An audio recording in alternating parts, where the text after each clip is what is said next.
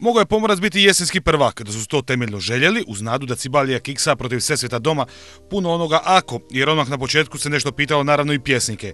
A oni su proteklog petka u Krančevićevoj rekli Kostrenjanima stop. Zagreb je u solidnoj nogometnoj utakmici, što je što publike više nije bilo. Slavio je protiv Pomorca 1-0. Derbi odlučio Valentino Stepčić, bivši igrač Rijeke i Pomorca u 61. minuti. Stepčić je s oko 25 metara uputio neodviše jak udarac, no lopta je odskočila i završila u mreži pokraj vratara Sluge, koji nije najbolje reagirao. Dakle, 1-0 za Zagreb. No prije riječ dvije u prvom poluvremenu. Bilo je tu pokušaj s jedne i s druge strane. Zagreb je u prvom dijelu imao inicijativu i propustio nekoliko poluprilika. Najbolju priliku u prvom dijelu imao je Živulić koji je sa 16 metara uputio udarac kojeg je Herceg ubranio. Izuzetno teška utakmica u kojoj je protivnik odgovarao i Remi u startu. Oni su je tako i postavili to prvo vrijeme. Mislim da na kraju možemo biti presretni tom pobjedom kojom su zadržali priključak sa samim vrhom ljestvice.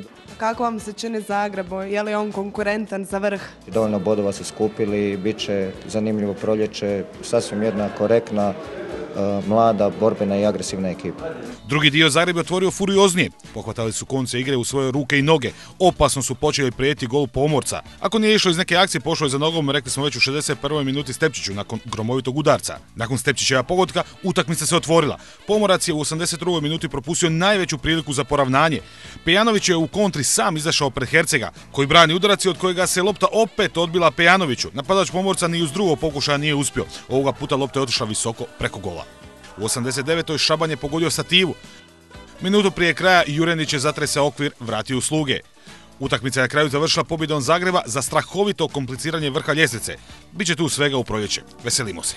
Planiramo, moramo vidjeti, e, znate i svi da imamo dobru suradnju sa Rijekom, moramo vidjeti kako će se ta suradnja nastaviti, moramo vidjeti šta Pomorac kao klub želi, te stvari posložiti u klubu i naravno onda krenuti u novu sezonu.